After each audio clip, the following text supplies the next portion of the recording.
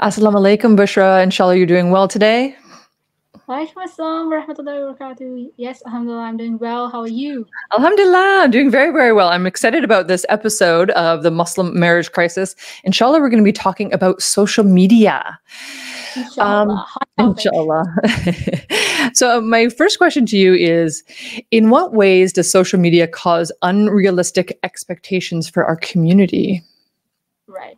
Okay, so I believe it does this in two ways. Like, Mm. um, it impacts not just your marriage and how you want your Mm. marriage to look like, but also when you're looking for a spouse, right? So you Mm. see these Instagram couples with these picture perfect marriages, and you think that is how marriage is supposed to look like, right? Mhm, And mhm. what people don't realize is that they are like curating your experience for you. Like they're picking and choosing certain parts of their life that they want to show to you. That's like maybe 10 to 15% of their relationship, you know? That's not the Mm. entire picture. You don't get to see the messy behind the scene parts. So I think that is how, and like when something doesn't go right in your relationship, you're like, oh, well, like, what is this? Like, this is not how marriage is supposed to look like Right, right, and right.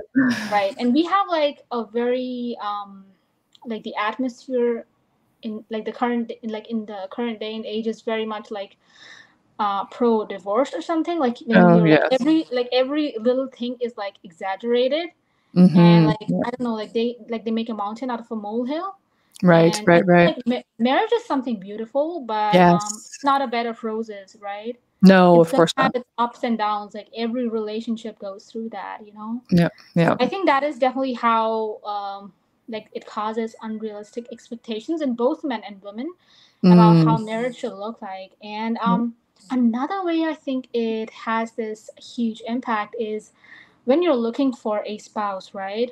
Mhm. Whether you're a man or woman, you pick up your phone and you're scrolling and you're seeing these heavily edited pictures and Right. videos of women with their makeup done up and they've undergone procedures and you're like seeing that that day in and day out and Right. and then Mm. you decide like and then you decide to get married and you start looking at women and when you see a regular woman it does nothing for you right Right, that's like a very even good if point, she's yeah. beautiful and even if she's taking care of herself Yeah. it's still not the same thing and i think even for like women like because they're following these male athletes and all these sort of um Mm, yeah.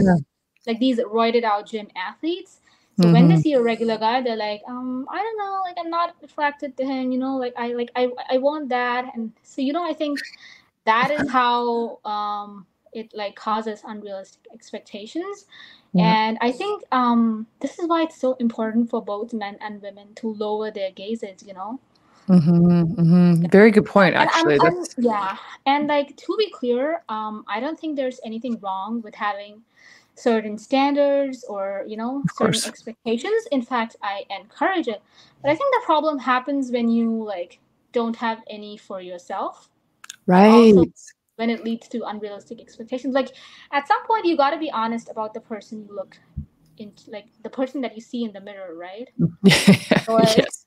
so like if you're like a woman and you're like oh i want a six feet guy with a six figure salary who Right. like a office and whatnot okay that's great but like what are you offering to that person you know and i don't mean this in a negative way and No. also like um how many men are there you know like out there who Mhm. meet this very specific criteria right Right, right, right. and like even like i mean obviously it works both ways it causes like um Mhm, unrealistic expectations in men as mhm. well like they want a wife who looks a certain way and all of that Right. okay but i feel like twitter is better than instagram you know because it's a Yeah, text-based app Absolutely. and i think yeah so i think maybe like unfollowing all these accounts that cause fitna to you is maybe a great first step what do you think I think that's a great idea, actually. You know, I, I contemplate constantly going back and forth whether to delete my uh, Instagram account. yeah I, I don't know if it provides any value. I think that, um, like you said, it it causes a lot of fitna. It's it's.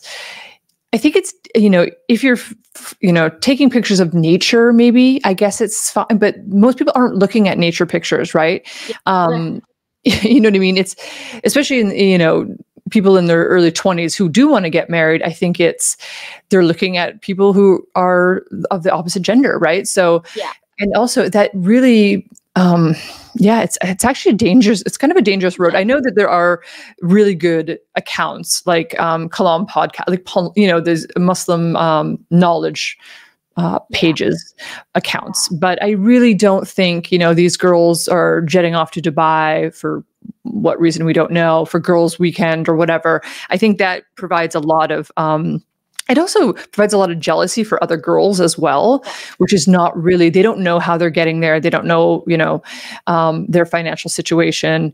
I think that it really starts to people start uh, envying other people, which I think is and also, it also causes like insecurities when you see Yes. these, like the perfect men and women. yeah, right? absolutely, yeah, Like you start feeling like you're inadequate. So Yeah. like and I and I know like really beautiful women who of course, that, you know? Yes, of course, it's natural, right? Because Yeah. they're only seeing something. I know there's a there's a. all um, and they, I was just going to say, yeah, the filters have ruined everything. Yeah, there are some Muslim influencers um, that you, that, you know, they'll say, "I filter free. I do no filters. I do no filters," Mhm. which I admire, right? But I think that you know, yeah. When you're a young person um, before social media they used to use magazines right? And so you would think okay this is so instagram's sort of like a magazine now and it's sort of interesting how it can cause depression because of this envy. Uh, Yeah. you're like well i'm not this pretty i'm not who am i? It really especially for young girls you know young teen girls who are even growing up with social media it's instagram it's very harmful on their self their self-esteem. Um, if their families aren't really confidence. You lose your Yes. yeah, exactly. Um, they if their families are not really strong on the deen, then they don't they don't think there's anything wrong with that, and then they spiral into depression and self hatred, and you know it. They put themselves at risk at that point. It's like, well, it doesn't matter anyway, and I think it can be um, lead to a lot of harm, unfortunately. Yeah, it can lead to self sabotage. You know. Exactly. Seg- perfect segue about um, self sabotage, because I think that um, people are losing hope. There was somebody commented on Twitter when we posted this um, this Yeah. series and the uh, live stream that you'll be on on Friday, inshallah. um, that your guest appearance on the Iftar with Alie series, inshallah. Um, people are giving up too easy. They say, "Oh, I've, I've practically give, I've almost given up." To quote them perfectly, I've almost given up, and I think that you know, like you just said earlier, is people don't realize like, if you're giving up and you haven't even found the partner or the person you're going to marry. What happens when your partner gets diagnosed with cancer? What happens when you lose a pregnancy? What happens when your spouse's mother dies? These are really tough situations that you're going to be Yeah. faced with. Marriage you know inshallah will be 30 40 year 50 years you know long. These are every day you're going to have children inshallah. You'll have they're you know they're going to go through things i mean it's very very difficult. That should be you know it's it's kind of ironic that people are giving up even before they're married. I mean it's very difficult marriage is a, is a hard i mean it's a test for us. It is truly a test for us I think uh, people forget. I think first and foremost that this world is a test, right? yes And yes maybe yes. the, uh, maybe this is how Allah Subhanahu wa Taala is testing you. You know, by Yeah. seeing how patient you are when you're looking for a spouse. So I think, um, and you're absolutely right about how people give up too easily when looking Yeah. for a spouse. Like a great analogy that I like to use here is Mm. about business, right? If you're gonna start a business, would you like give up after like two to three attempts, or after like your first like few potential clients or prospects said no, no, you won't do that, right? right So right how right can you be like uh how can you ha- like make these sort of half-hearted attempts for something as Mhm. important as marriage, right? right like, I know you're lonely and I know it gets difficult and you want to give up, but you can't like operate like solely based on your feelings, you know? Like people are super enthusiastic and Yeah. they'll make these profiles on marriage apps and a week or two later they're like, Oh, I'm never gonna Giving get up. married, I'm never gonna like, find them like are you serious about getting married or are you not? Yeah. You know? yeah and also are you yeah are you ready for the long haul right yeah. marriage is a marathon not a sprint so if you're giving up people you- are too yeah. soft nowadays. And yeah like, oh for sure You need like you need this inner resilience, you know, like you need to Yeah. persist. Y- Like, absolutely You to really want it, you know, and like it's not. I'm, not saying it's gonna be like a, a, a very difficult trial or like it's gonna be tough for oh of course not no Everyone's of course not experience is different, but like don't compare your journey to somebody else's, you know. hmm exactly and also the you know people success comes after a long period of trial and error and i think I think maybe that has a little bit has to do with the social media. People only see the success. Oh, I never saw the 10 years working behind the scenes. the tip of the iceberg, you know? That's right. Exactly. Not the, exactly. Not them working and grinding before that. So, yeah, yeah, working, getting up early, uh, you know, doing the hard work is um, a very sacred and also beautiful experience. Um, but it's not always, you know, kitty cats and unicorns and rainbows but it can be parts of it can be very beautiful inshallah. Um, but it's not always like that. And i think there is some self-sabotage to that as well. People only want the good. So um, yeah i think lowering your expectations is something that uh, somebody people have to like you just said looking yourself in the mirror and just being like hmm who really am i something that i do in my like matchmaking mm-hmm. i sent like the the forum has this so they have like two back-to-back questions. So the first one is what are you looking for in a spouse? So this is where they talk about all of their preferences. And the second question that i ask is what are your non-negotiables? So so there's just figure out the stuff that you can compromise on. Mm-hmm, mm-hmm then there's this stuff those are like preferences you know like it's not a like they're not deal breakers you know? Right exactly. so um like for example your morals your character your values you know like those are stuff that you can't compromise on you know? Mm-hmm, of course yeah. And stuff like that. Mm-hmm. but there's like other stuff you can compromise on because like hey like um that the, the guy doesn't have to be six feet, right? He can be five ten. So, exactly. The, the average height is not six feet. Yeah. You, yeah, yeah, yeah. Like, you gotta pick your battles. You know. exactly. And also the the difference between you know 510 and 5 and 6 feet is so minimal that you won't even notice you know in real life. Yeah. So i have a really interesting story about this. Mm. i have a portal set up where people can send in like anonymous questions. So oh wonderful. so yeah so, so i get a lot of questions. Um so two months back a sister reached out to me and I'm like paraphrasing here, but she said something along the lines of the level of men I'm attracted to, the kind of men I'm attracted to, they don't want me. Oh, and I, and she was like, I need you to tell me like how, like how do I stop feeling this way, because this has mm. led down good proposals. I was like, okay, I'm glad you realize it's a problem.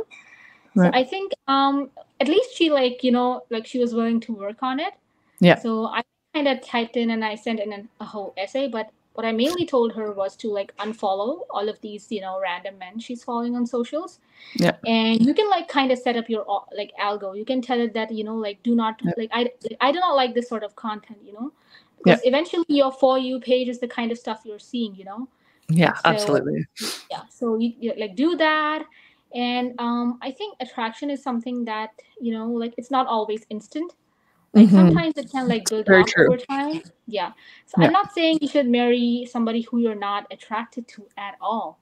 Mm-hmm. But like don't expect something crazy, you know? Like so I told her like yeah, because like it takes time to like, you know, kind of like fall in love. Yeah. A lot of marriages start by being friends with the person first. When of course yeah. we don't do that in, in Islam necessarily, but we can have form a, a friendship yeah. through okay, we have the yeah. same um, hobbies or same interests, yeah. right? It's like, okay, yeah, like, well, we can like, talk about that. Don't be like too quick to turn down proposals, you know? Exactly, exactly. Yeah, yeah that's and, a very good um, point. The other thing I told her was if you don't like the level of men you're attracting, work on yourself, you know, like work out, yes. um, groom yourself. Like you can work on you, like become more elegant, like charming and pious, and you know, work on those things. And that will help you but like you can like automatically go from a like i don't know i don't know if you should talk about numbers but you can go from seven to ten right? right like that right. will help you that like that will improve yeah. your prospect but you Absolutely. can't change like the base of it you know yeah so i think yeah. that is something that um like obviously because i am much more closer to the women in my matchmaking agency versus the men um but yeah so this is something that came to mind so that was when i realized oh like this is a thing you know yeah, absolutely. That's so interesting. Yeah. Um, is there anything else that thing you think that people are giving up too easily? Yeah, it's funny the numbers thing. People don't like to be, you know, rate themselves, and I think uh, oftentimes women rate themselves much higher than they are in reality. Um, Men, I oh, don't know. men do that too. Men do that. And, and I was going to say, I mean, I've seen videos online where men will rate themselves, oh, I'm a two, I'm a three. And then girls will be like, you're an eight. And then the, you know, it's the opposite for the girls. They're like, I'm a 10. And the guy's like, you're a two. Like you, you're, you're, you know, but it's also, you know, we have preferences, but we also have um, sort of red lines. I will not marry somebody who's not on his deen. Or I will not marry somebody who does not want children, things like that. So, yeah, it's being very, very clear, and and also, like you said, working on yourself. Um, that's a very, very good um, uh, piece of advice for sure. And I think being honest with yourself, right? Yeah. Knowing the also, you knowing the person you are. Yeah. yeah and also like getting married is one of the most important decisions of your life right Like, Literally. Yeah. it's, it's a big deal so Yeah. like i don't know how people like give up too easily you know it's a beautiful process, right? And you're falling in love and you're and you're um, you know, it's it can be so joyous, you know. It's going to give you the, you know, the highest highs and the lowest lows, really. And it's just it's a beautiful human experience, right? It really is. And being able to witness somebody grow and try and fail and grow and try, you know, and I think that uh yeah it's a beautiful a beautiful experience and alhamdulillah that we even get that opportunity and that it's not only we don't get it but it's encouraged in islam i think that's something else that really um needs to be said is like it's you should get married absolutely like we are Yeah. pro pro marriage pro family. if you can then you should you know that's like, right i think that's a hadith yeah. especially in this day and age where there's like so much fitna like you know yeah absolutely absolutely make it a priority yeah absolutely. Jazakallah khair for that. That's really really helpful and inshallah we'll see you in the next episode bushra. Oh i look forward to it